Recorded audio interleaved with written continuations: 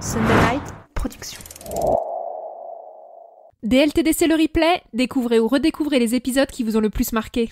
Bonne écoute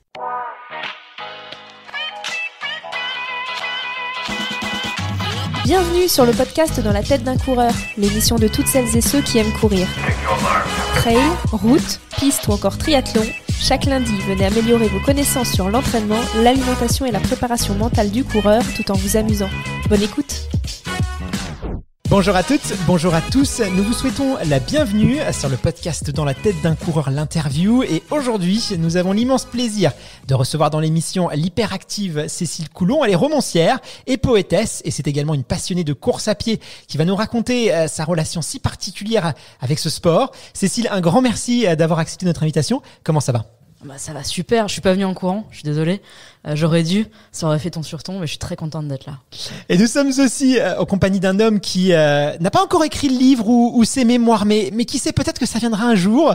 Euh, en tout cas, une chose est sûre, c'est qu'il partage euh, cette même passion pour, euh, pour le running. Lui, je sais pas si t'es venu en, en, en courant, Fred, toi c'est un peu plus, t'es pas trop loin, donc ça devrait pouvoir être, être possible. Comment ça va aujourd'hui bah, bonjour Cécile, bonjour Guillaume, bonjour à toutes et tous. Bah, non, je ne suis pas venu en courant, effectivement. Et, euh, je suis pas sûr d'un jour écrire mes mémoires, parce que je suis pas persuadé que ce soit très intéressant. Ah, dis et pas plus, ça. Hein. Et en plus, je suis pas sûr d'avoir le, le, le talent littéraire suffisant. Donc, euh, bon, peut-être, euh, voilà, peut- peut-être pour pour animer des, des petites soirées euh, arrosées avec des amis, mais pas plus loin. Bon, écoute, on va quand même. euh, Si un jour on a envie de te prendre, je connais quelques éditeurs. Tu verras, ils sont ravis de te faire signer un livre. Euh, Cécile, pour te présenter euh, un peu plus en détail, en tout cas pour nos auditeurs qui peut-être ne te connaissent pas encore, euh, tu es originaire de Clermont-Ferrand, euh, plus précisément de la ville de Saint-Saturnin, euh, dans le Puy-du-Dôme? Alors les puristes de Cantal et de Petit Salé euh, aux lentilles apprécieront la, la précision géographique. Euh, à l'âge de 16 ans, euh, alors que tu n'es euh, que lycéenne, euh, tu publies ton premier euh, roman intitulé Le voleur de vie. Euh, à 21 ans, euh, ton troisième livre, Le roi n'a pas sommeil, rencontre un vrai succès, aussi bien populaire que critique. Alors évidemment, hein, les jeunes auteurs, c'est un peu comme les jeunes sportifs. On ne sait jamais s'ils vont réussir à confirmer dans les catégories seniors. Mais toi, on peut dire que tu as parfaitement réussi cette transition puisque ton dernier roman, Une bête au paradis, a connu un immense succès en librairie et tu as même reçu le prix littéraire du Monde en 2019. Ça fait quand même toujours plaisir. Sinon, en dehors de ton amour pour la littérature, tu es aussi une passionnée de course à pied. Et je pourrais même dire que tu es une, euh, une ambassadrice du running puisque dans la plupart des interviews ou des échanges que tu peux avoir euh, sur les plateaux, tu essayes toujours de, de voilà d'avoir une petite phrase pour encourager les gens à courir ou pour parler du- de ce sport, euh, ce qui est assez atypique euh, aussi. Euh, du coup, la, la première question que j'ai envie de te, de te poser, c'est d'où est-ce que ça vient cette passion pour le running? Et surtout, est-ce que tu te souviens des des, euh, des premières motivations qui t'ont poussé un peu à, à courir pour la pour la première fois? Alors franchement, je pense que comme beaucoup de gens et beaucoup de jeunes gens, ce qui m'a poussé à courir, bah, c'est la famille. Euh, comme vous comme vous venez de le dire, moi je suis je suis né dans un petit village. J'ai deux grands frères, les deux ont fait du foot au club du village hyper tôt, à 5-6 ans. Euh, ma mère, elle a fait de l'ath- l'athlétisme à partir de ses 12 ans. Aujourd'hui, elle à 65 ans, elle fait des marathons. Et mon père, il est pongiste et il nous accompagne sur les courses. Donc en fait, toute la famille, quoi. Mon oncle faisait de la du sport aussi. Euh, donc je pense que très tôt, quand tout le monde va courir le samedi ou le dimanche, bah on suit parce qu'on a envie de faire partie du truc. Et je pense, je suis même pas sûre qu'au début, je trouvais ça très agréable euh, d'aller faire 5, 10 kilomètres. Petit à petit, c'est venu. Et surtout, euh, on a des spots de course à pied en, en Auvergne, euh, dans le Puy-de-Dôme, qui sont très beaux. Euh, c'est agréable. Ça peut être plat, il peut y avoir du dénivelé. Donc, très vite, je me suis j'ai compris que c'était quelque chose qui me faisait du bien et surtout je me suis rendu compte d'un truc incroyable c'est qu'en courant on réfléchit beaucoup et moi très vite j'ai commencé à raconter des histoires et à en écrire. Et j'ai considéré que la course à pied c'était mon dopage d'écriture c'était mon dictionnaire quoi. Euh, et, et ça aujourd'hui la plupart des gens qui me demandent euh, les conseils pour commencer à écrire euh, pour que ça fonctionne pour que ça marche j'en dis franchement déjà allez dehors euh, sortez euh, sortez de la salle de sport ça peut être bien. Et euh, et marchez ou faites de la course faites du fractionné parce que ça va vous défoncer. Et en même temps vous allez être tellement sûr de vous à la fin que, que pour vous votre histoire elle va fonctionner et c'est ce qu'il faut. Euh, Cécile, moi, je, je suis Ouais. pas sûr qu'il y ait beaucoup de monde qui ait commencé à course à pied en aimant ça, très concrètement. Hein. Euh, su- surtout les enfants. Hein. Enfin, voilà, euh, on peut être nombreux en, pas possible, en ouais. témoigner. Voilà. Euh, alors, Cécile, avec Guillaume, euh, nous, on, a- on adore recevoir euh, dans, dans le podcast euh, des coureurs et des coureuses qui ont des profils et des histoires très différentes, parce qu'on est convaincu qu'en fait, il n'y a pas une euh, une façon euh, de courir, mais des centaines, voire des milliers euh, façons de, de, de, de de pratiquer notre sport. Et on a bah, déjà eu la chance de recevoir des, des athlètes médaillés olympiques, euh, mais aussi euh, de grands chefs cuisiniers, des présentateurs télé, des entrepreneurs ou encore des sportifs de l'extrême. Mais tu es la première romancière qu'on reçoit, donc euh, bon, ça, je suis extrêmement flatté. et nous également. Et, et d'ailleurs, il faut bien avouer que dans l'imaginaire collectif et notamment sportif, les profils littéraires et même scientifiques, hein, on va un peu vous associer, même si certainement entre vous vous faites une différence assez, assez nette, bah, souvent ces, ces, profils sont perçus comme étant aux antipodes du monde du, du, sport, euh, euh, soit, soit les rats de bibliothèque ou les rats de laboratoire, suivant qu'on est chercheur ou littéraire, euh, comme si finalement il était incompatible d'être euh, sportif et curieux ou éveillé euh, intellectuellement parlant. Justement, toi, quand tu parles euh, de ta passion pour la course à pied, euh, que ce soit à des journalistes ou à des lecteurs que tu peux rencontrer, par exemple, on va dire dans ton univers à toi, euh, est-ce que ça surprend encore les, gens finalement, cette passion pour le sport? Est-ce qu'il y a une forme d'incompréhension? Je sais pas, il y a une forme d'incompréhension, il y a une forme de surprise. Euh, après, je me suis rendu compte d'un d'un truc que j'ai trouvé très mignon, c'est qu'il y a quelques années, j'ai publié un livre qui s'appelle Le cœur du pélican, euh, et le, le, héros du livre, c'est un quelqu'un qui fait du 800 mètres et quand j'ai fait la promotion autour de ce livre, le nombre de gens qui venaient me voir en me disant alors moi c'est pareil quand j'avais 16 ans j'étais champion d'aviron et puis après c'est parti en live. Euh, moi c'est pareil euh, quand j'avais 21 euh, ans j'étais un espoir en France et puis je sais pas ce qui s'est passé je me suis arrêtée ça m'a vraiment euh, rappelé ces, ces, souvenirs. Et les gens qui venaient me dire ça ils avaient entre 50 et, et 65 ans. Et puis le sport c'était c'était un lointain souvenir mais c'est quelque chose qui les avait profondément nourris dans leur vie. Et je suis d'accord avec vous quand, quand, quand vous dites on a vraiment l'impression que le domaine sportif et que le domaine euh, intellectuel, littéraire ou scientifique, ça va pas ensemble. Et quand moi j'étais à la fac et que j'ai dit je vais faire une thèse sur le sport et la littérature, on m'a dit mais mais ça va pas ou quoi? Tout le monde s'en fout. Et alors que non seulement il y a beaucoup de gens qui écrivent qui ont une activité physique assez intense, ça peut être de la nage, ça peut être de la marche, du vélo à fond, beaucoup de cyclistes et pas mal de gens qui courent aussi. Euh, donc je pense que ça va ensemble, que ça la fout un peu mal de le dire. Et surtout, euh, peut-être qu'aujourd'hui, on est dans un moment où ça change parce que socialement, politiquement euh, et à l'école aussi le sport le fitness surtout beaucoup de fitness beaucoup de yoga euh, c'est devenu normal quoi. Celui qui celui qui a pas ses Nike au pied pour aller euh, acheter ses concombres euh, bah franchement euh, ça la fout ça la fout mal. Euh, celui qui prend l'avion et qui a pas ses, ses, baskets de compétition qui coûtent 200 balles ça la fout mal aussi. Il y a quand même un truc où le sport a irrigué euh, tout, tout, toute la vie, euh, la vie quotidienne. Donc ça change un peu. Mais euh, moi, j'ai été d'abord confrontée à beaucoup de surprises et ensuite à des gens qui sont venus me voir, mais jamais devant les autres, en me disant Bah oui, moi dans ma famille, moi il s'est passé ci, j'étais bon, mais je ne le suis plus. Et c'est dommage. Et euh, aussi, la question de la performance. Ceux qui ont été bons ou bonnes dans le sport un jour, ils ont du mal à accepter euh, de décliner ou d'avoir été blessé, de reprendre. Or, moi, je pense que une carrière en, en art, en littérature, c'est comme une carrière sportive. Bien sûr que des fois on se casse la gueule, bien sûr que des fois on se fait un genou, on se fait une cheville, il y a un livre qui se vend pas, on n'arrive pas à avancer et il faut trouver en soi les ressources nécessaires pour le faire. Donc ça va c'est vraiment des fonctionnements euh, physiques et intellectuels euh, qui sont parallèles et on a un petit peu du mal à l'admettre ça. Euh, alors du coup ça c'est très intéressant parce que est-ce est qu'on pourrait dire que finalement le monde littéraire auquel tu appartiens euh, est, est, soumis euh, à ton niveau euh, à une exigence de performance que là tu sembles faire des parallèles entre euh, finalement entre être bon en sport et, et, et, bon dans son écriture ou en tout cas avec le livre qui se vend qui se vend pas. Est-ce qu'on peut mettre en parallèle les deux types de recherche de performance ou c'est quand même assez différent? Est-ce que les auteurs se tirent la bourre comme on se tire la bourre sur un 800 mètres par exemple pour reprendre ton ton, ton euh, héros? je, je, pense qu'il y a uniquement dans un podcast sur la course à pied que j'ai le droit de dire ça. Moi je pense que passer un certain seuil de vente, comme passer un certain seuil de performance ou de sponsoring, il y a euh, l'idée que quand le quand il y a un petit nouveau qui arrive et qui d'un coup euh, est partout, qu'on voit partout, évidemment qu'on se pose la question, qu'on se dit est-ce que est-ce que est-ce que je vais pas me faire bouffer en fait? Et franchement, s'il y en a qui vous disent, si vous recevez des romanciers, des romancières qui vous disent non, pas du tout, c'est faux, c'est archi faux. Mais je pense que c'est passer un certain seuil et un certain temps aussi dans un milieu. Parce que et moi j'ai vécu ça euh, avec la poésie ou avec les romans, euh, ou euh, quand j'ai reçu des prix, où il y a des gens qui sont venus me voir en me disant moi je suis pas tout à fait d'accord avec ce qui est en train de se passer pour vous, parce que ça fait 15 ans que je suis là, que je suis en galère, et que vous on vous ouvre des portes euh, comment on m'a pas ouvert Donc en fait, je le, et je le comprends. Euh, ou, ou, des gens qui ont pu dire, moi j'ai pas forcément envie de, de sortir un livre euh, en même temps que Cécile. C'est déjà arrivé aussi. Et de la même façon, euh, moi aujourd'hui, je me dis, euh, je vois toute la nouvelle génération qui arrive, qui fait des livres qui sont incroyables, avec une nouvelle façon d'écrire, avec des nouveaux sujets. Et je suis là et je me dis, en fait, ça fait 15 ans que je suis dans le circuit.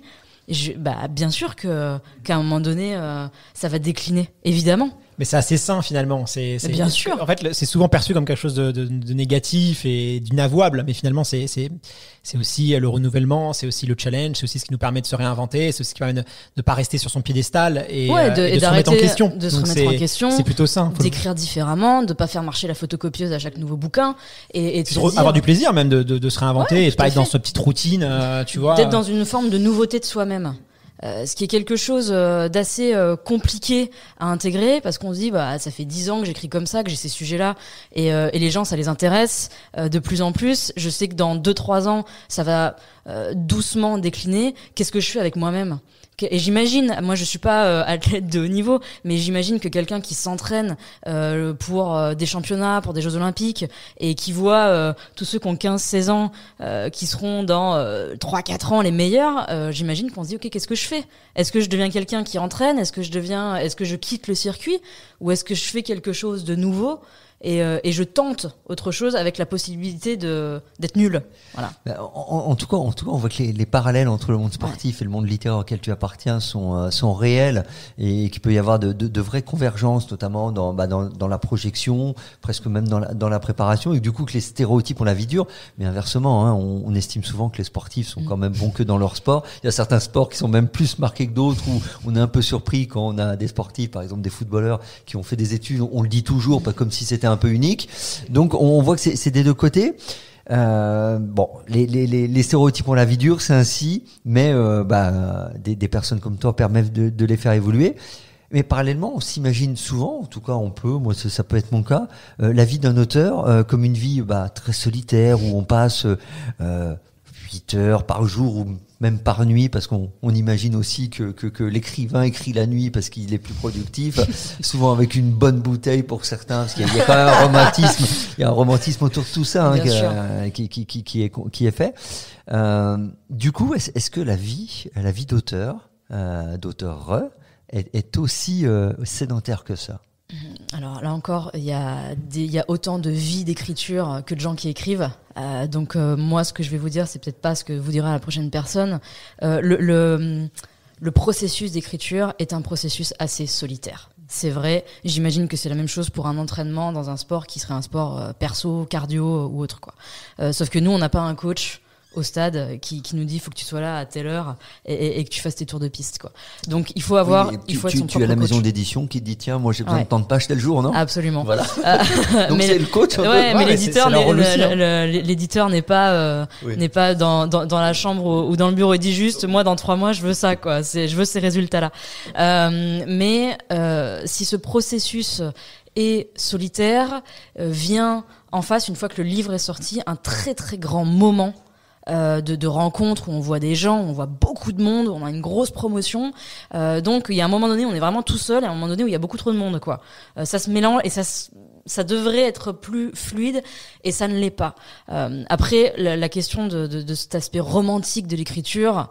euh, moi, dans ma vie, pas du tout, mais peut-être aussi parce que je fais beaucoup de sport et que je peux pas me permettre de, de, de me mettre une bouteille par soir, quoi. C'est pas possible. Et surtout, je n'écris pas bien. Euh, ni l'après-midi ni le soir. Moi, je suis quelqu'un qui écrit très bien le matin. Et et ce qui est assez étonnant aussi, c'est que je suis quelqu'un qui préfère largement courir le matin euh, que l'après-midi ou le soir. Et je pense que mes performances d'écriture et mes performances de course à pied à mon tout petit niveau sont meilleures quand elles quand elles vont ensemble, quoi. C'est bien connu que le matin on est souvent plus productif. En tout cas, ça dépend des personnes, mais, mais souvent euh, beaucoup. beaucoup Moi c'est mon cas. Moi le, le matin s'arrête à 10 heures hein, donc. euh, Bah, voilà. C'est pour ça que dans, dans beaucoup de cultures, on fait pas travailler les enfants l'après-midi parce qu'on s'est on s'est rendu compte qu'ils étaient beaucoup plus productifs le matin.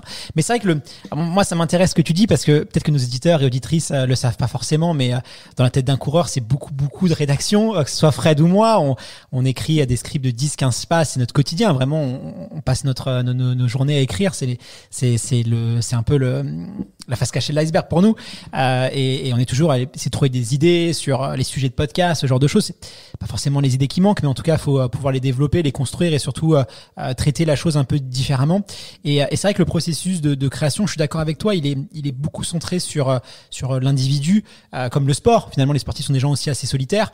Euh, et il faut beaucoup être dans la concentration. Le calme, c'est très important, mais il faut aussi, je pense, quitter son bureau, euh, aller sur le terrain, interroger les gens, essayer de comprendre les perceptions de chacun, se confronter euh, aux idées, aussi euh, euh, mettre à rude épreuve nos idées, essayer d'aller voilà les attaquer un peu de, de part et d'autre. Moi, j'ai souvent cette image, je me la permets, elle est, un peu un peu.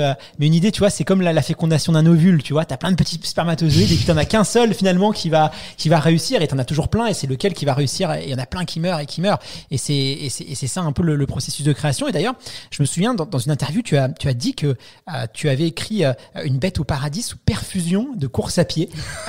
Trouvé euh, cette image très très forte. Et, euh, et j'aimerais bien que tu nous expliques un petit peu plus ce qui se passe justement dans dans la tête de Cécile quand elle court. Et, et, et comment ça se passe justement le, tes idées euh, Est-ce que c'est vraiment courant? Tu nous disais tout à l'heure que, que euh, tu pensais beaucoup en courant. Euh, c'est vrai qu'on pense, je pense que tu penses beaucoup, non, mais, mais c'est vrai qu'il n'y a, a, pas d'anxiété. Enfin, je sais pas si vous, a, quand on pense chez nous dans une chambre la nuit, on peut, on peut penser des fois des choses. Alors des déjà idées la noires. nuit, c'est vraiment le pire moment pour Ouais. penser parce que tout est démultiplié, c'est l'enfer. Le- La nuit, le- se réveiller à 3 heures du mat en se disant mince, est-ce que j'ai bien fermé le gaz? Mince, est-ce que j'ai bien payé ma facture? Qu'est-ce qui va se passer dans 10 ans? C'est terrible. non, non, la nuit, c'est fait pour dormir, hein, clairement. Hein. Mais, euh, en c'est courant, on pense, important. on, on quoi. pense jamais à des choses négatives. Je sais pas si toi, tu as déjà pensé des choses négatives en courant. C'est vrai que c'est souvent des, des pensées qui sont assez, euh, assez. Comment ça se passe Du coup, raconte-nous. euh. Euh, je pense que ce qui s'est passé pour une bête au paradis, euh, c'est le, le livre pour lequel j'ai le beaucoup, beaucoup plus couru que pour les autres. Euh, J'allais courir à chaque, je sais pas, pas à chaque page, mais je faisais mes chapitres. Et, euh, et l'endroit où j'ai commencé à écrire une bête au paradis, je m'en souviens très bien. Je suis allée à Vichy, pas très loin de Clermont-Ferrand. J'ai pris une semaine, j'ai pris un Airbnb et vraiment tous les jours, j'étais là à pondre mes 10 pages et je courais 10 à 15 km par jour en bord d'Allier. C'était incroyable et franchement, c'était un des plus un de mes meilleurs moments d'écriture parce que une fois que j'avais écrit, déjà j'allais me dégourdir, ce qui fait quand même du bien. Et pour moi, vraiment, la course, c'est comme passer ses idées dans une essoreuse à salade, quoi. À la fin, c'est nickel, c'est mangeable. Euh, J'ai l'impression de trier mes idées, d'avoir d'avoir une acuité qui est, qui qui est démultipliée, d'être capable. Je me sens capable en courant. Et je pense vraiment que c'est euh, pas peut-être pas l'épuisement du corps, mais l'exercice qui fait que tout d'un coup, ma pensée, elle est plus nette, elle est propre, elle est elle est oui, elle est aiguisée, c'est comme un couteau, elle est aiguisée. Et puis il y a évidemment une fois qu'on a terminé, surtout si on, enfin en tout cas dans mon cas, quand on fait un peu de, longueur, euh, moi j'ai là vraiment ce truc hormonal où je me sens capable de tout, où je suis bien, où, c'est tout d'un coup je, je me dis euh, toutes les angoisses que je pouvais avoir sur est-ce que l'histoire elle est bonne, est-ce que le chapitre il fonctionne, est-ce que c'est solide, tout ça ça disparaît. C'est-à-dire que non seulement je travaille mon écriture avec mes pieds, j'écris avec mes pieds littéralement, mais en plus, tout ce qui vient polluer la création disparaît, alors momentanément, hein, parce que le lendemain, j'y retourne le surlendemain, euh, mais pour moi, et je pense que les gens qui font de la marche aussi, ça doit être à peu près le même processus, sauf qu'ils ont sans doute un peu moins mal physiquement, ils ont peut-être moins de courbatures ou moins de crampes, mais euh, moi, j'ai vraiment euh, l'impression que la course, c'est comme une, une éponge humide qu'on passe sur un mur très sale, quoi. À la fin, ça brille, ça fonctionne, euh, c'est beau et on se sent capable de tout. Il y a une expression qui est très connue dans le monde du running, c'est on part courir avec nos, avec nos, nos problèmes et on, on rentre avec des solutions. Et, et on sait que euh, la santé, elle est étroitement liée euh, au sport. Euh, mais Fred, du coup, je sais pas si tu disais interroger sur ça, mais est-ce qu'on on sait justement ce qui se passe au niveau euh, cérébral, les effets entre euh, course à pied euh, et notre cerveau en fait, parce qu'on on vit un peu tous la même chose. Enfin, la plupart des coureurs vivent ce que décrit Cécile à différentes mesures et échelles évidemment, mais je pense qu'on on a tous pu s'en rendre compte. Bah, ça, c'est une très bonne, Très bonne question, Guillaume. Euh, et, très concrètement, des études ont, effectivement démontré que, l'activité physique est un excellent stimulant pour le cerveau. Ça permet, par exemple, de stimuler notre mémoire ou encore de, favoriser le développement de nouvelles connexions neuronales.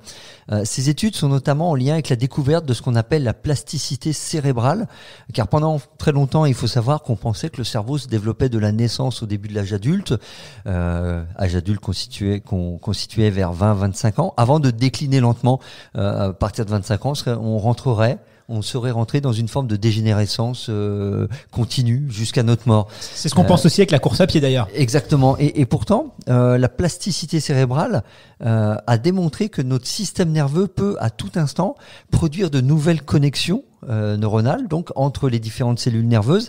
Et les chercheurs se sont aperçus que l'activité physique contribue justement à stimuler cette neurogénèse, cette constitution de nouvelles connexions entre les neurones. En fait, si je comprends bien, la course à pied, ça, ça nous rend pas forcément plus intelligents au sens où on peut l'entendre. Ça nous donne pas de nouvelles connaissances, hein, sinon ce serait quand même pas mal. Mais en tout cas, ça nous permet d'affûter euh, nos outils intellectuels euh, pour, pour mieux s'en servir. C'est exactement ça. Et d'ailleurs, des neurophysiologistes cherchent actuellement à déterminer plus précisément des liens entre la pratique quotidienne de la course à pied et le développement de connexions neuronales dans le but notamment d'aider des, des, malades atteints par exemple de pathologies cérébrales comme Alzheimer ou encore la maladie de, de Parkinson, des maladies dites modernes hein, qui, qui se sont beaucoup développées au cours des 50 dernières années et qui sont directement liées à nos modes de vie et notamment à notre sédentarité. Mais c'est vrai que c'est des choses qu'on qu'on a quand on travaille, quand on court de manière quotidienne. C'est souvent les coureurs qui courent une fois par semaine n'ont pas forcément ces effets-là parce qu'ils sont plus dans la souffrance et dans la résistance. Et euh, ces choses-là, on, on, les a avec une certaine forme d'ancienneté. C'est pas forcément la, la, vitesse ou la performance, mais c'est vraiment la récurrence et le fait de courir euh, assez régulièrement. Cécile, pour en revenir un petit peu à, ta relation avec euh, le running, j'ai l'impression, euh, en t'écoutant en tout cas, que pour toi la, la course à pied c'est avant tout un, un outil euh, qui est utile à ta profession, à ton équilibre, à, à ta vie, et que la notion de performance, elle est finalement assez secondaire. pourtant, tu as, quand même voulu te, te, mesurer à la distance mythique du, du marathon. Du coup, pourquoi est-ce que tu as voulu avoir cette idée saugrenue de te lancer sur l'une des courses les plus voilà qu'est-ce qui t'a motivé et, et, pourquoi avoir ressenti ce besoin-là? Parce que c'est pas ça qui va te faire écrire tu vois t'as pas forcément besoin de ça Alors, en tout cas ou, ou pas hein, peut-être que je très, me trompe très clairement d'avoir couru euh, deux marathons euh, surtout le premier ça a changé ma vie mais ça littéralement changé ma façon de penser ma, ma façon de faire et ma façon d'envisager mes capacités euh, dans la vie quotidienne. Ce qui s'est passé, c'est que après avoir fait quelques courses, les crosses du collège, tous ces trucs-là, quoi, euh, dans la boue et tout. Après, à 15-16 ans, j'ai fait 5 kilomètres. Euh, et puis, dans, dans, c'était à Clermont, c'était courir à Clermont, quoi, ces courses de ville ouais. chaque année. J'étais avec mes frères, avec ma mère et tout ça. Et le résultat était pas dégueulasse, quoi. Et, ça m'a assez étonnée. Je me suis dit, ah, c'est super. Et l'année d'après, je fais les 10 kilomètres avec, euh, en, groupe, quoi. Et puis le, groupe dans lequel j'étais, on, gagne genre la médaille de, ceux qui sont allés le plus vite en groupe. Ah, c'est super aussi. Et donc je me dis, bah le 5, ça, je, je, suis à l'aise sur le 5, je suis à l'aise sur le 10, je vais continuer, je vais faire 13, 14. J'arrive au semi-marathon. Ça me paraît assez... Euh, vraiment, je, je, parle en termes amateur, de quelqu'un qui, qui, veut juste finir sans être euh, euh, déglingué, faire moins de deux heures, enfin tout ça, quoi. Et ça se passe bien, quoi. Je, je, me sens hyper bien, euh, les gens sont plutôt sympas avec moi. je trouve qu'il n'y a pas assez de filles. Euh, je trouve que sur dès qu'on passe 10 km quand même, il y a, y a, une population féminine qui disparaît sur les, les, les courses de, de, plus longue distance. Et après le 21, j'en ai fait plusieurs, et je me suis dit quand même, il faut que, faut que j'aille me frotter à ce marathon. C'est un tel, euh, c'est une sorte, c'était une sorte de rêve. Je me dis si je peux, est-ce que si je peux faire 21 km sans me fatiguer, je serais sans doute pas capable de faire 42 sans me fatiguer, mais il faut que je teste, faut, faut que j'y arrive. Et à ce moment-là, mon grand frère, lui, était passé sur des courses de 80 km. Et donc pour lui, 42, c'était fastoche, quoi. Euh, et je me suis dit, bon, bah, en fait, tout est une question de point de vue. J'imagine que pour les, gens qui font 100 km, qui font des ultras, mais le marathon, c'est d'une, c'est Playmobil, quoi, hein, vraiment. Euh, et je m'entraîne. Euh, à ce moment-là, il y a une, une amie de, de, de, de, ma mère qui s'appelle Isabelle Genestas et euh, qui, euh, qui gagne les, les courses hyper difficiles en Auvergne, la montée du Puy de Dôme, les 100 km de Millau. Elle est première de sa catégorie, elle est recalée en amateur. Et elle, elle me fait un un, un plan d'entraînement avec euh, du fractionné, du fartlek, tous ces trucs que je connaissais pas avant. Et puis j'arrive euh, le jour du, du marathon de Clermont, c'était la première année qu'il était mis en place. Il y avait 200 personnes qui le faisaient ce marathon, dont euh, 20 femmes quoi. Et je fais ce marathon, j'ai mal, franchement j'ai hyper mal en arrivant, mais je passe cette ligne d'arrivée et vraiment je passe cette ligne, je pars en 4, c'était 4h15, voilà.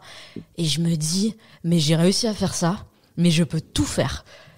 Mais vraiment, il y a eu un sentiment d'être- capable, d'être en pleine possession de mes moyens physiques et intellectuels. Et je me suis dit, si je, peux euh, courir 42 bornes sans aucune raison autre que moi-même, dans la vie, tout va, euh, tout va être facile, notamment pour euh, pour mon travail, euh, dans, dans mes amitiés, dans mes amours, dans ma famille. Et donc oui, ça, mais ça a complètement changé ma, ma perception du monde. C'est bête, hein. Les gens là qui écoutent, ils vont se dire, Non, mais vraiment, ces gens qui courent, ils sont vraiment à côté de la plaque. Mais euh, déjà, le moment de l'entraînement, c'est un truc à part. Parce qu'on change de corps, quoi. Moi, j'ai physiquement, j'ai changé pendant trois mois. clair. Je me suis dit, waouh, euh, incroyable. Bon, après les trois mois qu'on suivi, j'ai bien changé aussi. Euh, mais vraiment, pendant, je me suis dit, ça, c'est fou, quoi. Et, euh, et après, la, la première chose que j'ai voulu faire, c'était d'en refaire un. Je me suis dit, bah, ça y est, je, ça, je vais- je vais essayer d'en faire un par an. Et, euh, et maintenant, quand je vais faire une sortie longue, ça sera pas 15 km, ça sera 25 km. Euh, donc, ça a changé ma perception du temps, ma perception des distances. Euh, j'ai fait beaucoup de dénivelé aussi pour m'entraîner. Donc, je me suis amusée à monter les volcans. Euh, donc, j'avais des paysages euh, fous. Euh, j'avais des, des, des descentes. euh, J'aurais pu y aller en roulant, c'était la même chose. Euh, donc, je, ça, je pense que tout m'a paru plus facile dans ma vie après ce premier marathon. Mais euh, je pense que tu symbolises parfaitement la, la fameuse phrase de Zatopek qu'on répète souvent. Hein, si tu veux courir, tu cours un kilomètre. Euh, si tu veux changer ta vie, tu cours un marathon. Hein. Euh, mais du coup, est-ce que là, là, il semble, euh, on, vit, on vit avec toi à ce moment-là, cette euphorie-là euh, de cette découverte de toi-même, euh, physiquement et aussi, je dirais, euh, je sais pas si on peut dire mentalement ou spirituellement, je sais pas de, de quel ordre c'est. Euh, est-ce qu'elle a perduré quand même ou est-ce qu'il y a eu, il y a le soufflet est un peu retombé derrière ou ça a vraiment ouvert de, de nouvelles portes euh, Ça- et très ouais. Comment très concrètement, voilà, qu'est- qu'est-ce que ça a changé de, de, de manière, euh, tu t'es dit, effectivement, tu nous l'as dit que en ayant fait ça, maintenant tu étais capable de tout. Mm. Et justement, qu'est-ce que derrière ça t'a permis de faire que tu aurais peut-être pas osé ou entrepris euh, avant ce marathon? Alors la première chose, c'est de, je me suis rendu compte que c'était possible de faire 42 km et que ce n'était plus un rêve. Voilà. Donc derrière, après ça, ce qui s'est passé, je ne me suis plus exprimée de la même façon euh, dans mes périodes de promotion pour des livres. Quand j'ai eu envie de quelque chose ou besoin de quelque chose, je l'ai dit sans aucun problème. J'ai négocié des contrats, ce que je ne faisais pas avant. Non mais c'est bête, hein. Ouais, ouais. Mais je me suis dit, en fait, euh, euh, t'as ta place, t'es capable de faire ça, donc t'es aussi capable d'aller demander euh, des choses dont tu as envie et besoin. T'es aussi capable de te faire respecter. Je pense que physiquement, je me suis rendu compte que je pouvais être musclé, ce qui vraiment avant euh, était un, un rêve aussi, que je pouvais avoir des abdos, ce qui n'était jamais arrivé avant ça. Euh, je pense que ça a changé mon rapport à la nourriture. Vous aviez fait une, une émission ici sur euh, sur la nutrition euh, des coureurs, et tout d'un coup, euh, la nourriture avec euh, toute cette cette masse d'entraînement n'est plus devenue un problème comme ça peut l'être parfois quand on est une jeune femme, ce qui ce qui est vraiment une bêtise. Mais maintenant, je, je considère que la, la nourriture c'est l'essence pour la course à pied. Je considère pas que c'est une possibilité d'avoir euh, 10 kilos en trop à la fin de l'année, et ça change beaucoup la façon de bah de de vivre sa vie sociale quoi. Euh, d'aller euh, dîner, déjeuner, de, de se dire bah ouais en fait euh, je vais manger trois fois plus, et ben je vais être trois fois plus performance, de, performante, de penser les choses comme ça et pas de se dénigrer en permanence. Je pense que ça m'a permis dans ma vie de ne plus me dénigrer. Voilà. Mettez-vous au marathon pour renégocier avec votre patron votre salaire. C'est- Exactement. C'est ce qu'il faut retenir. Mais euh, mais ça nous donne tort aussi. Hein, ça nous donne tort. Je pense que le marathon, ça nous conf- confronte aussi euh, peut-être euh, à ce qu'on pensait, ce qu'on se complaisait de penser. Je peux pas être musclé, je peux pas, je suis pas capable. L'expérience, on pouvait. Moi, c'était beaucoup l'expérience que j'avais du sport à l'école. J'étais souvent le dernier choisi dans les équipes. J'étais vraiment quelqu'un. Je me, je me définissais vraiment comme un l'antipode du sportif. Et finalement, je me suis rendu compte que bah c'était qu'une construction mentale quoi. C'est c'est c'est c'est ça. Ça vient nous, nous contredire aussi nous-mêmes. Ça fait contredire aussi les autres. T'es capable de le faire. Je pensais pas franchement que t'allais réussir, mais aussi euh, nous-mêmes. On le dit peut-être pas assez. Euh, Cécile, en 2018, tu as réussi à rallier ta passion pour euh, l'écriture avec celle de la course à pied, puisque tu as publié euh, Petit éloge du running qui est paru aux éditions euh, François Bourrin. Sur la quatrième de couverture, on peut lire La course à pied, au sens large du terme, contient tout ce que l'histoire contient d'histoire, de l'ère paléolithique à nos jours. Elle incarne le drame humain, ses passions, ses conquêtes, ses victoires et ses défaites. Euh, forcément, c'est ce genre de, de, de, de choses qui nous attisent notre curiosité. Est-ce que tu peux nous expliquer peut-être un petit peu plus, plus en détail le sens euh, de, de cette phrase et pourquoi, selon toi, euh, si, je, le- si je le comprends bien, euh, la course à pied, c'est un peu le fil rouge de notre humanité? Parce que euh, je, vais- je vais essayer de ne pas faire 4 heures sur le, sur le sujet, mais en fait, euh, à chaque ère historique, à chaque époque, euh, va son utilisation de la course à pied ou de la capacité à courir. Donc, on, on commence par la survie. Euh, on n'est pas des, on n'est pas, on n'est ni des mammouths, on n'a pas des, des manières de se défendre dingues. Donc, euh, il faut euh, courir pour euh, échapper à ce qui peut nous faire du mal, et surtout courir pour aller se nourrir, euh, pour aller euh, sur les, sur, sur ce qui est mort avant tout le monde. Et, et, et je pense qu'aujourd'hui, ce qu'on a un peu oublié, c'est qu'en fait, l'être humain, c'est quand même dans l'histoire de l'univers, l'être vivant qui peut courir le plus vite et le plus longtemps. Sur la durée, on a complètement euh, zappé euh, ça. Euh, et Ensuite, une fois qu'on a fait nos sociétés, la course à pied, c'est un- une sorte d'argument militaire. On court pour se protéger, on court pour pour le bien de l'assemblée. C'est un argument sportif, donc on est en représentation. Et la question vraiment sportive, euh, autre que la Grèce antique, euh, autre que les Jeux euh, Jeux olympiques, euh, c'est vraiment dans, dans, dans l'histoire, notamment euh, en France, une question aussi sociale. Euh, C'est-à-dire que au Moyen Âge, à la Renaissance et jusqu'en jusqu'après la, la Seconde Guerre mondiale, le sport et notamment le sport, on va dire cardio comme on dit aujourd'hui, c'est vraiment réservé à une élite. Euh, c'est euh, les chevaliers, euh, c'est euh, les gentilshommes, euh, c'est les militaires. Donc, ce qui est aujourd'hui est tout à fait populaire, pendant des centaines d'années, était réservé à l'élite, celle qui protège le- les autres et celle qui est prête à mourir pour les autres. Ah, Alors Guillaume, hein, t'as bien écouté. On est globalement les descendants euh, des chevaliers des gentilshommes, donc c'est c'est super flatteur. Moi, je suis super content d'être venu aujourd'hui parce que voilà, je, Charlemagne. je- voilà, je, je, je, je repars. Non, mais il faut euh, quand même imaginer aussi. que les Oui. types, ils couraient avec 25 kilos de, de Oui, comment oui. dire, de côte de maille. Enfin, on- on- je pense qu'on n'a pas une seconde, on n'imagine oui, pas. On, on se rend pas compte. Non, ouais. on se rend absolument pas compte. Et alors justement, Cécile, dans ton livre, tu, tu retraces voilà toute l'évolution de, de, de la course à pied. Euh, on est parti d'une discipline olympique réservée aux athlètes de légende jusqu'à l'arrivée du, du jogging entre guillemets vers la fin des années 60 que tu décris comme de la course pour rien, je mets entre guillemets, Bien hein. Euh, c'est-à-dire pour rien, sans chronomètre, sans manifestation sportive, sans enjeu. Mais à ton avis, comment peut-on expliquer justement cette mutation de la course de fond vers le jogging et cette volonté des, des coureurs, des coureuses de s'affranchir des contraintes et des pressions du sport finalement?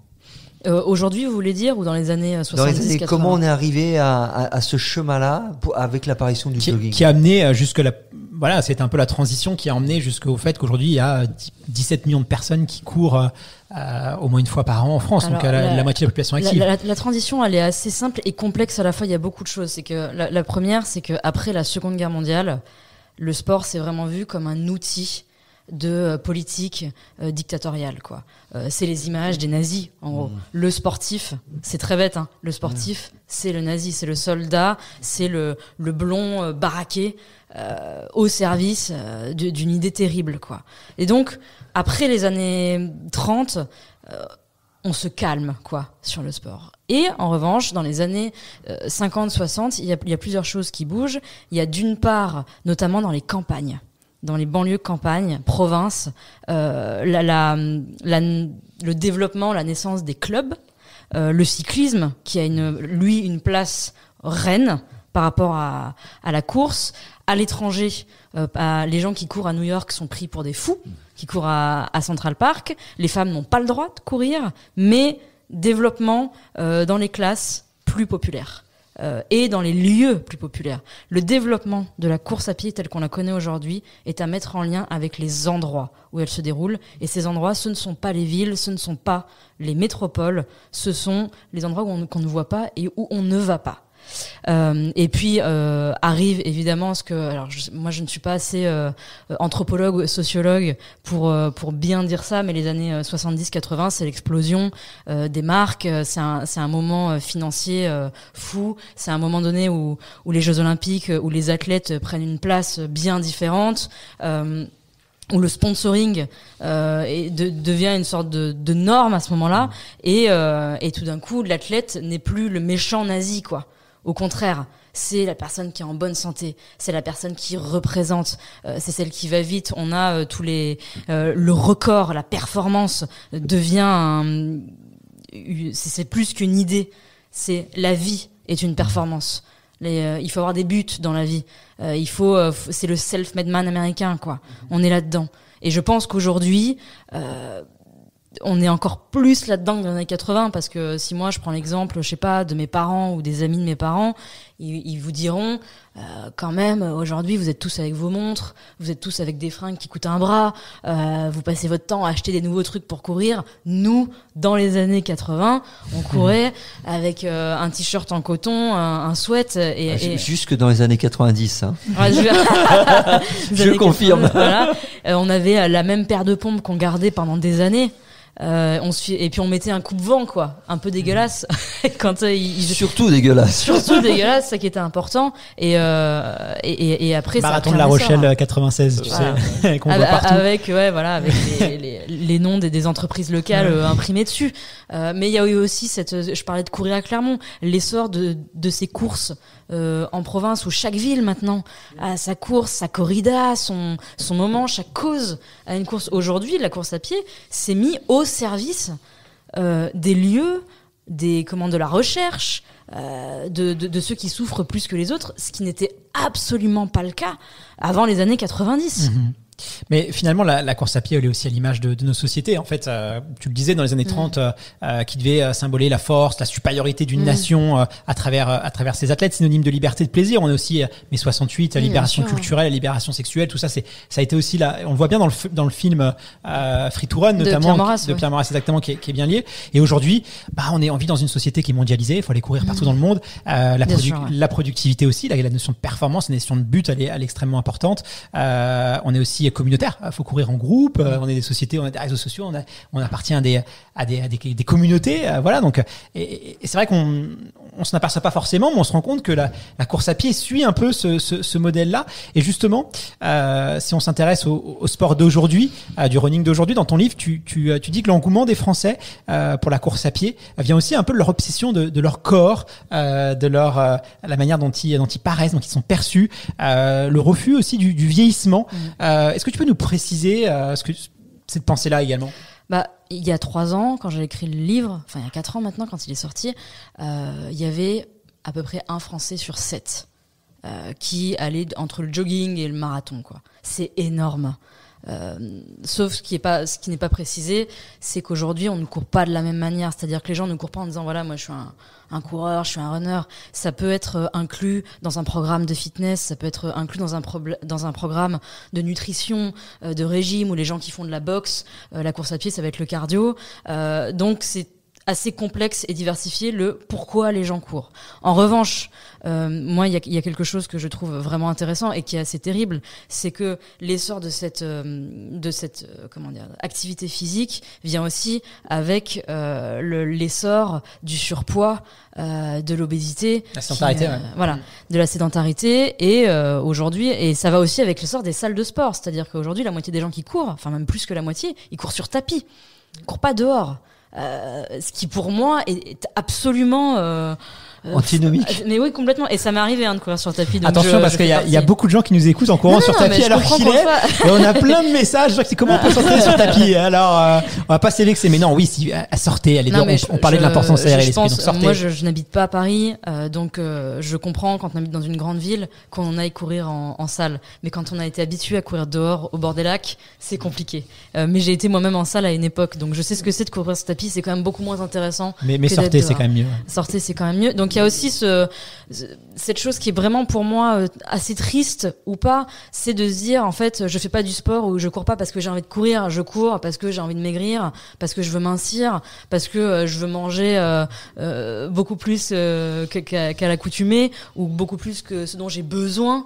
alors après, moi en, discutant avec beaucoup de gens pour écrire ce livre, il y a l'idée que oui les gens se mettent euh, à intégrer la course à pied euh, pour faire attention à eux, comme on dit aujourd'hui, et ils se mettent à aimer ce sport. C'est-à-dire qu'au départ, c'est dur, c'est compliqué, euh, franchement, c'est relou, ça fait mal. on rentre chez soi, on est rouge, on, souffle, on, crache un peu, mais il n'empêche qu'au bout de deux mois, les kilos sont perdus, on se sent mieux et on continue. Euh, donc euh, c'est la porte d'entrée, ouais. C'est la porte d'entrée. Donc il y a, y, a, y a, tous ces facteurs. Il y a euh, la sédentarité, il y a vouloir ressembler au, à nos vedettes sportives, parce que ce qu'on oublie aussi, c'est qu'aujourd'hui on regarde tous le sport, on regarde les JO, on regarde le foot, on regarde n'importe quoi, le hockey sur glace, le vélo, avec l'envie de ressembler à ces idoles. Moi, quand j'avais 9 ans et que je voyais Paula Radcliffe euh, au JO euh, éclater le, le, marathon, mais je, mais je voulais être Paula Radcliffe, ce qui n'arrivera jamais évidemment. mais euh, pour moi, c'était une idole. Mhm. quand j'allais, il y avait le, les, l'athlétisme à Clermont-Ferrand, il y avait Eunice Barber qui était venue et qui m'avait signé un t-shirt et je me disais mais oh, qu'est-ce que ça doit être incroyable d'être cette femme. Voilà. Donc il y a ça aussi, il y a la volonté. Et de la même façon qu'on s'inscrit dans un club de foot parce qu'on veut être Mbappé euh, ou, qu'on veut être Zidane, c'est la même chose. Euh, il y a une forme de transfert. Euh, et puis, mais maintenant, je pense qu'on va en parler. moi, j'y crois un petit peu moins à ça. C'est l'idée que dans les années 90-2000, le sportif ou la sportive de la classe, c'était la, la, personnalité populaire. celui ou celle qui fait du sport entre entre 10 et 18 ans, euh, n'a pas de problème, euh, ne se fait pas casser la gueule, euh, n'est pas l'intello, justement, on en revient à ce qu'on disait tout à l'heure. Et pendant longtemps, faire du sport, c'était aussi gagner une forme d'admiration. De la part de, de, rentrer de aussi de rentrer dans aussi un groupe quoi. Ouais de rentrer peut-être dans un groupe auquel tu as été exclu. On, on, parle des motivations personnelles. Moi, typiquement moi je suis dans le schéma classique. J'ai commencé le sport pour pour euh, pour perdre du poids tout simplement. Et puis tu te prends au jeu comme tu dis. Puis aujourd'hui j'ai changé ma vie. Je rentre autour de ça. Donc tu vois ça, ça prouve qu'il y a quand même d'autres bénéfices. Et finalement ce qui te fait ce qui te fait commencer c'est pas forcément ce qui te fait continuer. Et euh, tu as cette revanche un peu sur la vie aussi. Et je pense qu'il y a beaucoup beaucoup de coureurs à pied euh, qui ne se qui ne se percevaient pas et qui n'étaient pas mm. perçus aussi par leur entourage euh, sur euh, comme des comme des sportifs qui, mm. qui ont été exclus et, et, surtout chez les petits garçons pour le coup où toute l'interaction sociale euh, chez les garçons se fait par le sport. À la cour de récréation c'est du sport, si tu joues au foot, tu joues au basket, le week-end c'est du sport, tout, toute la vie est orientée sur le sport. Quand on est un petit garçon, je sais pas euh, aujourd'hui ce que c'est, mais en tout cas euh, à l'époque moi dans ma génération c'était ça. Donc forcément ça c'est très excluant quand tu n'es pas sportif et c'est une revanche aussi que tu peux prendre sur sur sur sur la vie quoi tout simplement. Je peux pardon. Vas-y, je voulais rajouter une petite euh, qui, qui, que je mentionne dans le livre, c'est aussi la question euh, euh, mercantile et surtout vestimentaire mm. autour de des sports cardio. En, en, rigolant, on, on, parlait de comment dire du, du, jogging de Rocky Balboa là quand quand il fait quand il s'entraîne que tout le monde connaît en molleton gris, qui est encore une des ventes numéro un de Nike, il faut le savoir. Hein. et aujourd'hui, qu'on soit sur un sur une piste, sur du tartan, qu'on soit au euh, au Franprix en bas, euh, dans un aéroport euh, ou en train d'attendre son bus. tout le monde a au pied des baskets qui normalement sont faites pour courir. Tout le monde a des fringues, des, des, des leggings qui sont faits pour courir, des hauts, des, des, des coupes-vents, des, des, des choses thermo pour, pour pas avoir froid. Et tout ça, c'est quand même au départ fait pour l'activité physique, mmh. dans des, des températures et dans des lieux professionnels. Pas du tout pour aller acheter son, son paquet de pâtes.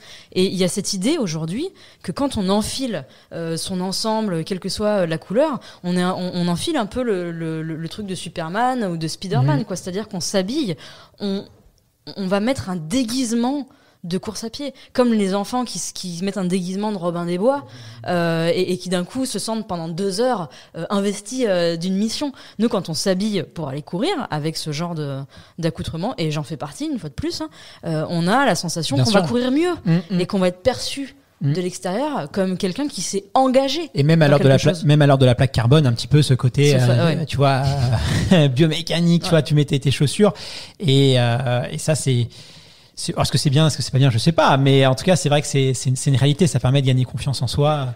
Après, c'est un côté un peu business peut-être. Voilà. Après, c'est une réalité. Je pense que c'est c'est ça. Après, on. Mais- mais je pense ça- que c'est- ça, ça mériterait. euh, Mais, mais je pense que c'est aussi, euh, on arrive au paroxysme avec la, la plaque carbone. Je pense qu'il y, a eu- il y aura un avant et un après. Et, et je pense que c'est l'apogée de, de ça qui va euh, un peu euh, chuter. On va aller vers autre chose. Et je pense que euh, je t'ai coupé Fred, mais Non, que mais tu. Je, je t'en prie justement Guillaume et, et Cécile.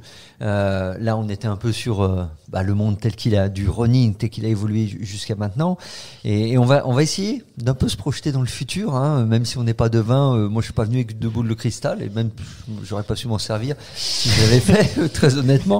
Et on va un peu se peut-être se demander à, à quoi va ressembler le, le de demain, parce qu'on peut déjà constater une rupture euh, avec le trail par exemple, euh, mais c'est encore plus vrai chez les jeunes qui semblent se, se désintéresser du, sport. Euh, D'ailleurs, dans une conférence de presse, le président de Nike s'est exprimé sur cette question et selon lui, je cite, ouvrez les guillemets, le sport tel qu'il est défini aujourd'hui ne correspond plus aux attentes des plus jeunes générations et il précise, la génération alpha ne se connecte pas à la vision traditionnelle du sport, à ses règles établies, à sa structure et souvent à sa pression. Les produits, les expériences stéréotypées, les spécificités liées au genre ne résonnent plus de la même façon pour les jeunes aujourd'hui. Euh, toi, t'es d'accord avec ça, Cécile ou Je, Comment je, je suis pas si, si je suis d'accord parce que n'ayant pas 15 ans, je ne sais pas. En revanche, je vois que ça change. C'est Ouais. certain parce que euh, et à, à des des indices euh, qui sont euh, très rapides. Euh, Vous allez euh, dans un stade ou euh, sur des, des, des spots habituels de course à pied, personne n'a moins de 25 ans. Euh, ça, c'est évident. Euh, première même, chose. même moins de 30 ans, je dirais. Mais voilà, moins de 30. Mais je, Je- suis très mauvais pour déterminer l'âge des gens, mais ouais, je, je suis assez d'accord avec toi. Euh, moins de 30. Alors, euh, je pense, et là encore, je parle d'un point de vue euh, provincial, je trouve qu'en revanche, si on prend les clubs des villages, il y a toujours autant de jeunes qui s'y inscrivent pour faire du sport dans son village. Ça, le, le tennis, le judo, le, le foot, et le foot féminin, rugby féminin, Mhm. notre rugby en, en Auvergne. Mais souvent, il lâche à toujours 13 ça. ans. Il y a vraiment une rupture qui est faite à Il y, a, 13 il y ans. il y a un truc qui est lâché, en- mais il y a quand même cette envie assez tôt, mais c'est peut-être l'envie des parents. hein, C'est ça, ouais, c'est souvent ce qu'on dit, c'est que c'est les parents qui. euh, euh, l'envie des parents. Après, je suis, d'a- je pense que Il y a 13 ans, ils laissent un peu tranquille et ils arrêtent à 13 ans. je, je- je pense que le, à l'adolescence, c'est comme avec la lecture. Comme vous dites, en bibliothèque, les gens vous disent jusqu'à 12 ans, ils adorent lire, puis après ils lâchent quoi. Et soit ils reviennent euh, à 20 ou à 30, soit ils reviennent pas quoi. Euh, mais j'imagine aussi qu'aujourd'hui, quand on vous dit euh, que vous voyez les pubs, qu'elles soient Nike, qu'elles soient Adidas, qu'elles soient, euh, j'en sais rien, les trucs de les Basic Fit et, co- et compagnie, où, il y a quand même cette question de performance. Alors pour soi, hein, beaucoup pour soi, euh, le no pain, no gain, euh, tous ces trucs-là, qu'il n'y a pas de, a pas de réussite sans douleur, euh, que bah, peut-être qu'il y a une génération nouvelle qui s'intéresse à autre chose, à une autre manière de penser, de penser leur vie, de penser l'entreprise, de penser le travail, qui est quand même au cœur de, de- des sujets actuellement avec ce qui se passe depuis deux ans, et qu'en fait les gens n'ont peut-être peut-être moins envie à 15 ans de performer quoi d'avoir la meilleure note, le meilleur temps sur 5 km. C'est plus la valeur absolue en tout cas. C'est peut-être que c'est en train de. Alors, on, on dit ça avec beaucoup de. On fait attention. Mhm. Peut-être que ça, dans, un an, on dira l'inverse. hein. Euh, mais euh, je pense qu'aujourd'hui, il y a beaucoup de gens qui euh, qui vont acheter des, des baskets Nike, euh, pas pour courir, pour aller se promener avec leurs copains en ville euh, ou pour se poser à la maison. Ça, c'est certain. Et euh, ce qui est intéressant, je pense, c'est comment ce glissement s'est opéré, c'est-à-dire à, à quel moment euh, les, les grands organes mercantiles ont compris qu'il y a une génération qui s'intéresse pas euh, à la marque du sport pour le sport, mais à la marque pour justement euh, marquer son appartenance à un groupe plutôt qu'à un groupe sportif. Et c'est d'un point de vue marketing, c'est une réussite totale. D'un point de vue sportif, c'est pas Mhm. vraiment une réussite. Mais, mais je pense que la, la communication de demain, euh, aujourd'hui, on montre souvent des, dans une publicité, on montre souvent des, des coureurs en bonne santé qui transpirent, sûr. c'est avec la peau reluisant et tout, euh, très très beau. Et je pense que on doit, on- ce qui se fait pas aujourd'hui, et c'est pas un reproche pour les équipementiers, mais je pense qu'aujourd'hui, on a plus besoin de mettre l'accent sur euh, sur les bienfaits. Moi, je vois bien une publicité aujourd'hui. Tu vois un mec en télétravail chez lui, complètement exténué par sa journée de travail, et euh, au fond euh, d'une pièce, euh, tu vois des chaussures, et c'est un peu la, la solution au problème. Tu sais, c'est c'est euh, vraiment, on doit mettre plus en avant les, les vertus du sport euh, face à cette société qui évolue, qui se sédentarise, qui devient de plus en plus digitale. un- Avec les Uber Eats, tu te fais livrer la nourriture, tu te fais livrer euh, tes courses sur à Paris, tu, tu prends euh, une trottinette électrique pour te déplacer, on se sédentarise. Et aujourd'hui, la course à pied doit finalement être une, solution. Euh, c'est bien, hein, c'est une, bonne chose. Hein. C'est de l'hypercommodité et l'homme devient malheureusement toujours cherché à s'économiser. Je pense que c'est ancré dans notre ADN. Mais il faut aussi, c'est, on l'a vu avec les maladies euh, modernes, hein, qui sont des maladies qui n'existent pas dans les pays en voie de développement parce que ces gens sont actifs. Euh, Parkinson, Alzheimer, tout ça, c'est lié à notre mode de vie. Donc le sport aujourd'hui doit être une solution euh, à la digitalisation et elle est pas assez actrice de ça. Elle reste dans la performance. Quand je vois les chaussures à plaque de carbone, je pense qu'ils se, se trompent de combat vraiment. Et, euh, et d'ailleurs, euh, on, se rend compte, il y a des sondages qui ont été faits, 80% des coureurs ne s'y intéressent pas. Euh, ça, ça, fait, euh, c'est un microcosme, c'est un, une tempête dans un verre d'eau. C'est beaucoup d'énergie, beaucoup d'argent pour pour une utilité qui ne sert à rien à la société, alors que les marques devraient justement prendre à bras le corps cette problématique de la sédentarité, de la société qui se digitalise, elles ne le font pas. Je pense qu'il y a eu ce moment, on a beaucoup entendu pendant le premier confinement, tout le monde se remettait à courir parce qu'on avait le droit de sortir pour courir. Et on a vu beaucoup de gens. Moi, je trouvais ça euh, tellement, euh, encore une fois, mignon. Moi, je voyais des gens qui passaient en dessous de mes fenêtres, ils, couraient avec des Stan Smith au pied. Et je me disais, non seulement ils vont détester courir, mais alors en plus, euh, ils vont se faire mal. Ils vont se faire très très mal. Mais c'était étonnant de voir tout d'un coup, il y a la moitié de la France qui s'est mise à faire du jogging. Donc, et franchement, moi, j'ai pensé que ça allait continuer. Je me suis dit, ils vont tous découvrir euh, pendant euh, un mois et demi euh, que c'est super. En fait, pas du tout. Il y en a quand même qui sont restés. Hein. Parce que nous, on en, a eu, on en, a eu, bon, on a, on a forcément eu des gros pics d'audience cette période-là, mhm. et il y a beaucoup quand même de gens qui sont, qui sont restés. Après, t'as, ouais, t'as quand même 80% qui ont pas arrêté, mais tant mieux si tu as quand même 20% des gens qui se sont découverts à ce moment-là. Euh, bon, bah, c'est quand même une bonne chose. Cécile, on arrive à la dernière partie de notre euh, émission. Euh, et avant qu'on qu'on se quitte, j'aimerais quand même qu'on s'intéresse à l'écriture et, et, à notre capacité aussi de raconter des histoires, car peut-être qu'on a des auditeurs qui cherchent à, lancer un podcast ou, je sais pas, à, à, ou à devenir écrivain. À devenir écrivain, à, courir, à raconter un marathon sur, sur leurs réseaux sociaux ou sur leur blog, je sais pas. Bah, bah, voilà, il faut, il faut quand même être en mesure de captiver son, mm. son audience, son public. D'ailleurs, tu le disais à l'instant, il y a, tu parlais de, du running qui a explosé pendant le confinement, mais il y a, il y a un autre phénomène, c'est les gens qui écrivent des livres. Je crois qu'un Français sur dix, euh, c'est euh, c'est euh, c'est dit qu'il allait se mettre à, à, l'écriture pendant le confinement. Euh, bon, malheureusement, c'est ce qu'on disait tout à l'heure, c'est que souvent on, on, s'arrête en, en, chemin et, et c'est vrai que beaucoup de gens disent j'aimerais bien me mettre au sport, ils ne le font jamais. Et il y a énormément de gens autour de moi, c'est pas un mois où il y a un mec qui me dit qu'il veut pas écrire un livre et, ne le font jamais. Du coup, à toi qui es très productive, tu as écrit plus de, de, de 10 livres, tu cours 40 km en moyenne par semaine, tu as couru deux marathons.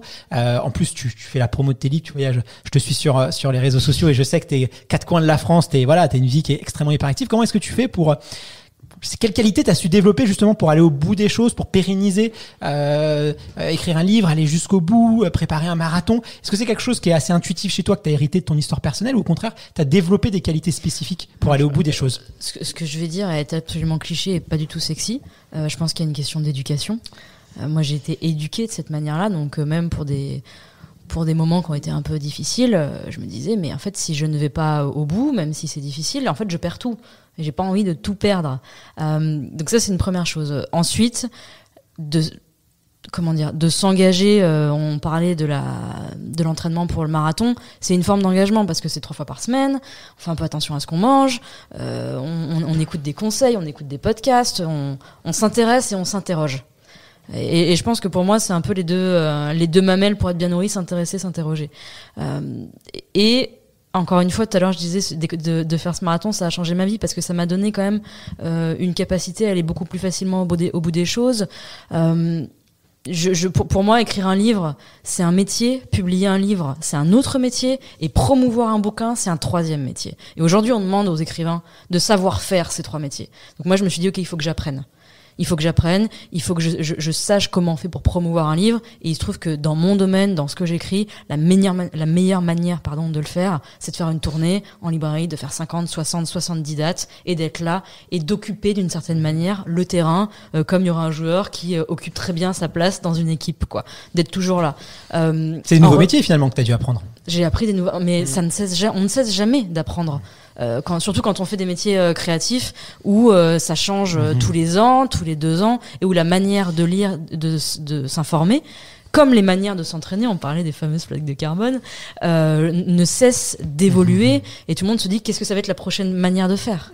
Et, du, et, du, coup, dans ce dans cette évolution, dans ce nouvel apprentissage, Euh, tu es seul ou tu es quand même accompagné? Il y a, y a, des gens qui t'ont guidé Je suis qui très, voilà. très accompagné. J'ai ouais. toujours été très accompagné. Alors je sais pas si c'est une question de chance d'être là au bon moment ou d'être né au bon endroit, mais en tout cas quand j'étais plus jeune que maintenant, c'est-à-dire adolescente, euh, j'ai eu des professeurs qui ont relu mes textes, qui m'ont dit que c'était pas bon, quoi, qui m'ont dit en fait ça ne va pas, il faut retravailler, retravailler. La discipline, cette question de discipline qui est tellement importante, dont on parle pas assez, on en parle beaucoup en sport, on n'en parle pas en écriture, mais en fait il faut s'exercer et pour réussir, il faut rater un certain nombre de fois. Donc moi, j'ai eu ces gens-là, il y a eu ma famille qui m'a toujours dit vas-y, quoi que tu fasses, vas-y, fais-le jusqu'au bout, fais-le bien. Et ensuite, maintenant, aujourd'hui, euh, j'ai euh, euh, deux éditrices, euh, j'ai euh, des, des gens, euh, des, une agente. Avec cette agente vient quatre autres personnes qui sont là pour m'aider si j'ai le moindre problème ou si j'ai la moindre interrogation, plus les, les, les, amis du milieu, qu'ils soient sportifs ou littéraires ou éditorial, qui sont toujours là pour prendre des conseils et pour en donner. Donc en fait, je ne suis jamais seule. Jamais. Je suis peut-être seule quand j'écris, mais euh, quand on monte un par un les échelons, et j'imagine que c'est la même chose pour des athlètes, je ne le sais pas, il faut leur demander à eux, mais évidemment qu'ils ont un conseiller en ceci, un conseiller en cela, un coach, un nutritionniste. Voilà, moi j'ai pas de nutritionniste, mais j'ai des éditeurs. C'est un peu la même chose. mais c'est drôle parce qu'on a fait une, une émission euh, sur le, le, running business justement mmh. dans l'Iron Café, euh, et, et, les métiers des athlètes aussi changent. Aujourd'hui, avant de demander à un coureur de courir, comment demander à un auteur d'écrire, et aujourd'hui être sur les réseaux sociaux, ils doivent promouvoir, ils doivent, et c'est ce qu'on leur demande. Et, et c'est vrai que c'est souvent mal perçu par, par, par, certaines personnes, comme je pense certains auteurs qui disaient moi j'ai mmh. pas envie de faire de promo, j'ai pas envie d'aller à la télé, j'ai pas envie de, de, me filmer sur Instagram.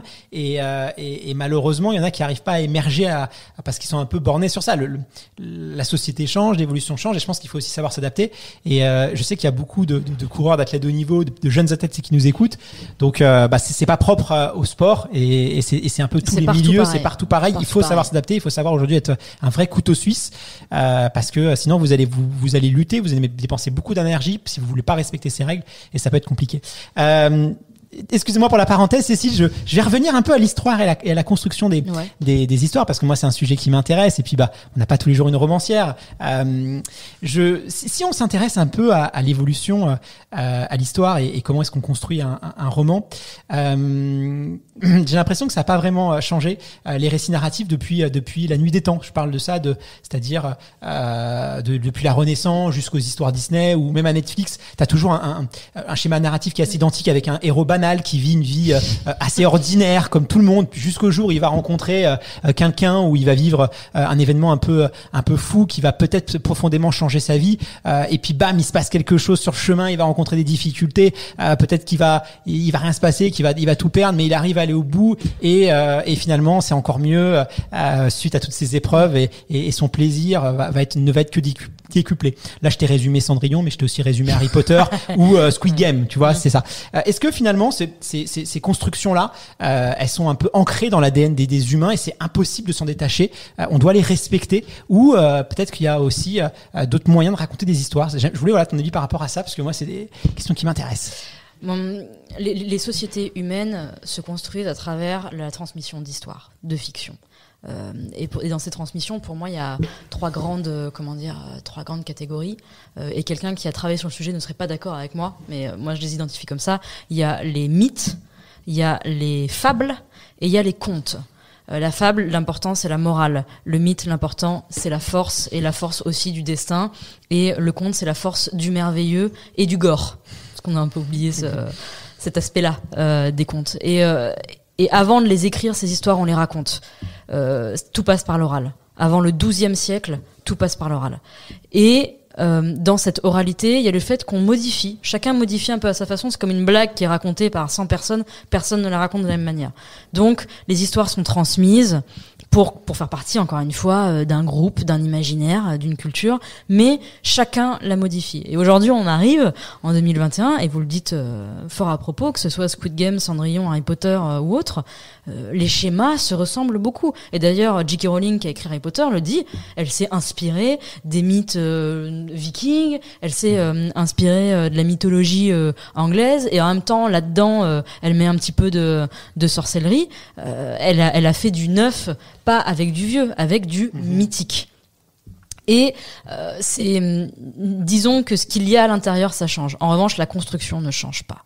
On est toujours sur trois grands modèles. Il y a peut-être un modèle qu'on peut rajouter aujourd'hui, on va dire en, en littérature, qui est celui de l'autofiction, où il s'agit de raconter sa vie de parler de soi, euh, de parler de ce qui est de, de, de l'intimité, de la vie de famille, euh, de des problèmes. C'est très souvent des problèmes, euh, mais euh, l'aventure, c'est plus l'aventure de l'autre, c'est plus Robinson Crusoe, c'est plus c'est plus Ulysse, c'est l'aventure de sa propre vie.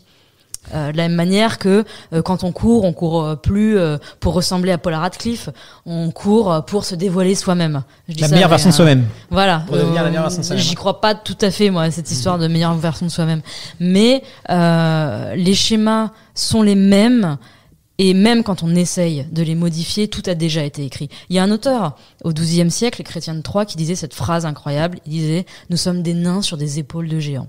Ce qui signifiait tout a déjà été écrit, raconté. Ce qui change, c'est la façon dont on va le raconter. Et donc nous, ce qui change aujourd'hui, c'est les supports de fiction. Le podcast, il y a 10 ans, euh, c'était les prémices, 10-15 ans, on aurait dit aux gens, en fait, vous allez écouter avec des casques euh, des gens euh, qui, qui ont écrit, comme vous l'avez dit, pendant plusieurs heures, vous parlez d'un sujet, mais personne n'y aurait cru. Ils vous ont dit, ouais, en fait, c'est de la radio. Non, c'est pas de la radio, pas vraiment. c'est beaucoup plus précis. Personne n'y aurait cru. Et c'est un nouveau support et c'est une nouvelle manière d'écrire. Mais les accroches sont les mêmes.